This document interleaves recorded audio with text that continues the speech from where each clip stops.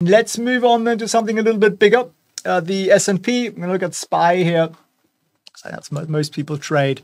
And then we go to the NASDAQ and the Russell and then NVIDIA and Microsoft and some of the big tech stocks as well. And we're going to look at what, what the week has in store for us, basically.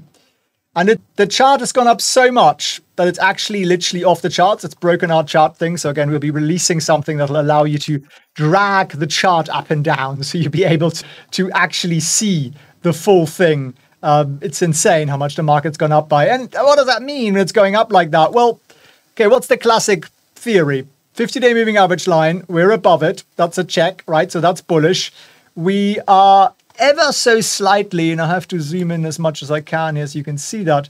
We closed ever so slightly, actually, let's go on a three month chart, below the high from yesterday and the high from five days ago or thereabouts.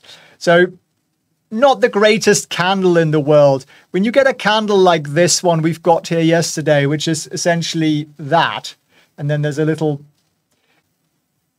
it's saying to you, we were trading up here at one point, and then people sold quite a lot, and we closed near the bottom end of the day. I suspect that's got a lot to do with uh, pension funds doing their quarter end adjustments because that's what they got to do. They basically, the market goes up this much, they have too many shares compared to their bond portfolio because they have to hold a certain percentage only.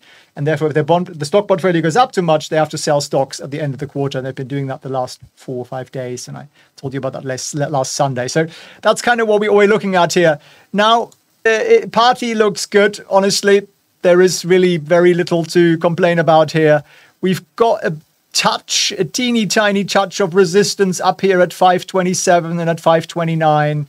But 535 up there. But ultimately, the party looks good. It just, yeah. Save for some really horrendous economic data, I think the party will continue.